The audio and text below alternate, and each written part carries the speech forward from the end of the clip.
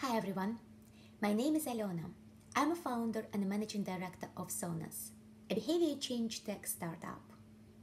We use applied behavioral science and emotion analytics to measure and improve workplace well being. Coronavirus brought massive challenges to all the companies, large and small, worldwide.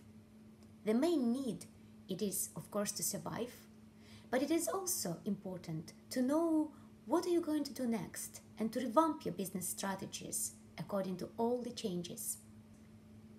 The main challenges that you will experience is, of course, how to engage and motivate your remote workforce, how to help them to stay productive, to perform well, but at the same time to feel well.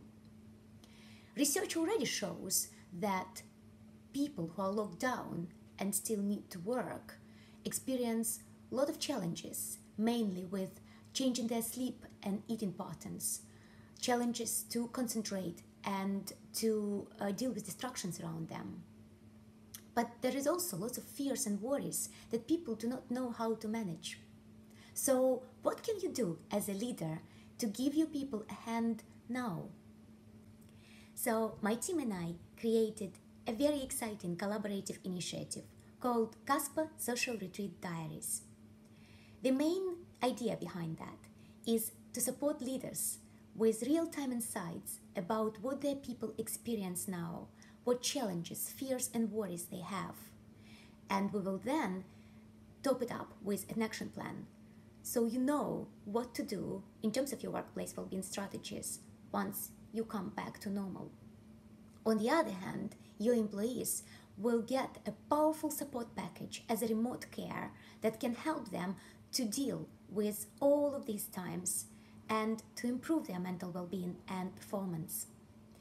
We've got a range of expertise on board and uh, experts from behavior science, from neuropsychology, from sleep science and nutrition, even creatives from poetry and storytelling will be sharing their tips and uh, practical strategies from their own experience and from all knowledge they know, which can be really helpful for people as we hope for for this time. If you want to know more about this initiative, you can find all the details following the link at this post. And now, the most exciting bit is that you can set your own value for it. We do understand your current challenges with budget constraints and with complete uncertainty. So you can pay as much as you can for this initiative if this is something useful.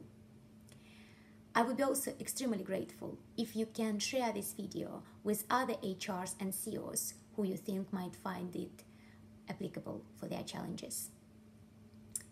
Thank you very much. Stay safe and watch the space. We will keep you posted about Social Retreat Diaries on the way.